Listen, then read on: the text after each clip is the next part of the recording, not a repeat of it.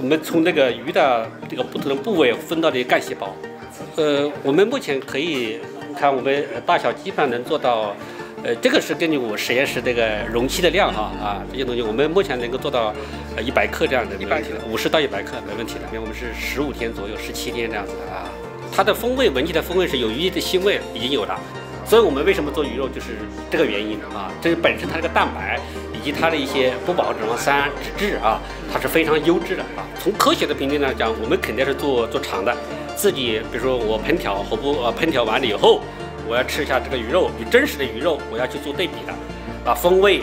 质构啊，最后这个我们营养组成我都测过了，这个我们都测过了，就是那营养很接近的啊，基本上。那但是我们说最后尝下来的感觉怎么样？在我口腔里面，我这个人的感受是什么样？这个都要去做最后要做科学的评价。